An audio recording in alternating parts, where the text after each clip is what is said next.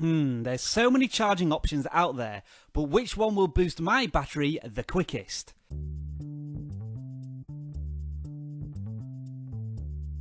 The unifying truth, whether you have an Android device or an Apple device, a smartphone or a tablet, is this. The sophistication of these products often means you've got one eye on the battery meter, and sometimes you have a very short window in which to charge your device. Now, as you can see, there are plenty of ways to charge your digital daily driver, but for the average consumer, like myself, is there an optimum way to charge your battery? Well, I decided to put that question to the unscientific test. My Nexus 6 with its 3200 mAh battery against various charging options. And the first one is a standard generic USB charging plug and cable plugged into the mains. You can call this my control test, and before I do each future test, we'll check the percentage of the battery on the Nexus 6 and then plug it in and run it for 30 minutes. As the battery currently stands, it's down to 9%, and this is where I mean these tests are not going to be exact. Batteries may charge faster the more they are depleted, but I'm not going to let the battery run down for 9% for every test because I have a life I want to live, and much as you do in the real world. Anyway, the charge has started, so we shall fast forward and see what the percentage is after 30 minutes of battery charging. Isn't it a good job that I can edit this post filming, or this would be the digital equivalent of watching paint dry? Anyway, there is your first result. Battery charge is now at 33%, which is a charge of 24%. And just remember, your device may have a smaller or bigger battery, which will affect the numbers. It's the comparisons we're interested in, and this is going to be our first comparison. With the battery at 32%, I'm going to start playing a YouTube video, so the screen, speakers, and Wi Fi are all in use. Will this slow down the battery charging, and by how much? And welcome to my Basics series of bite-sized hints and tips for your Samsung Galaxy S4 and Android phones in general. We start the series with swiping down from the top of your phone to display settings and...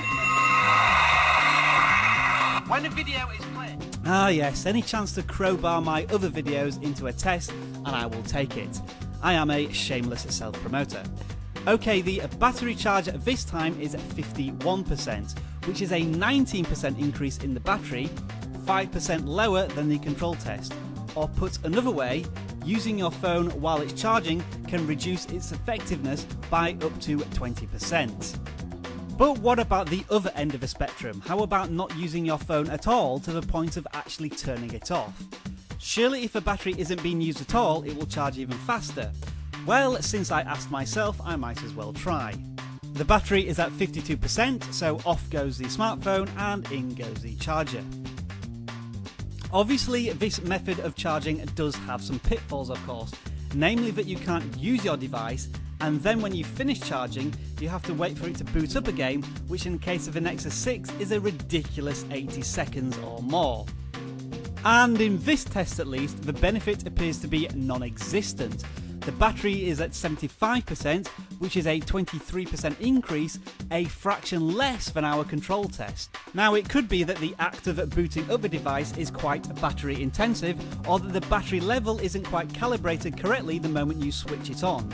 But it seems like turning off your phone to charge has many drawbacks and little incentives. So, beyond using a normal plug, what else can you try to affect your battery charge? Well, there are various accessories out there, and a popular one these days is the multi USB charging plug socket that will include higher amp charging ports. In this example, we have a 2.4 amp socket, and that's what I'm going to try in this test. Incidentally, if you weren't looking closely earlier on, the generic plug charged at 1.5 amps. Battery is at 45% in this test, so let's crack on and see what the figures come up with at the end of 30 minutes of charging. And again, we have another somewhat of a surprising result with the battery up to 66%, an increase of 21%. So the control test still reigns supreme, and the main difference there was that the battery was very low to begin with. Up until now, we've relied on tests that depend on plugging the charger into the mains, but with a portable device, that's not always possible. So, portable battery chargers are very important if you are on the move.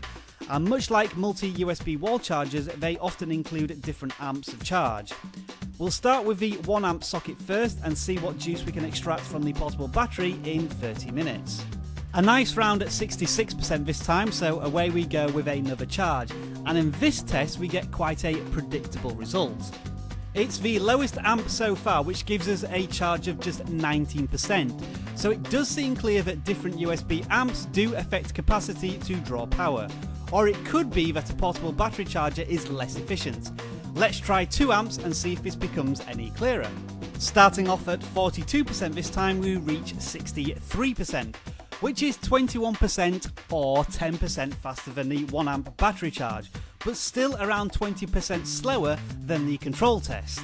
Phew, all these numbers are getting a little confusing. And I'm going to complicate things even further now because not only can you have portable chargers, but wireless portable chargers. No wires involved in this one, simply witchcraft of a kind I don't understand, but I am willing to test. Now, I imagine with no direct connections involved, there's likely to be some loss of power during the transfer. And I am right. From 63% to just 76%. That's almost 50% slower than charging from the mains. Well, at least we have one definitive answer. If you need to charge your device in a hurry, use wireless charging as a last resort. As I have said earlier, this test hasn't exactly been scientific. I've used an assortment of chargers, each of which could be of varying quality, which can drastically affect charge time. There is one thing I can try, however, which may have a significant impact on charge, and that's to use the battery charger plug that comes with an Nexus 6. You might call this a party trick that's exclusive to one or two newer devices that have turbocharging support. Well, it's got the right name I'm looking for in this test, so let's give it a whirl. The battery percentage is at 41%, and I'm going to charge the device for the usual 30 minutes. The layout on my table is a little different because the cable doesn't have quite as long a reach in this example, but it shouldn't impact what you can see. And what we do eventually see is something a little disappointing. 22% increase. That's worse than my original control test. This doesn't make any sense. But then I thought back to the layout of the table. The charging cable only just fit on my table, and even that was the longest cable I had.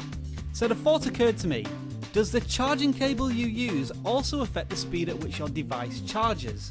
Well, let's repeat the turbocharge test and find out. I'm in less auspicious surroundings now, but at least I have the original charging cable that came with an Nexus 6 and can reach. Battery percentage is at 42%, let's give this one another shot. Just to remind ourselves then, the original control test remains the best charge rate at 24% in 30 minutes. But this result, as I expected in the first instance, crushes all before it. 80%, a 38% charge, that's more than a third of the battery in just 30 minutes. And if you check Motorola's website, it states that turbocharging is only effective up to 80% of the battery's charge.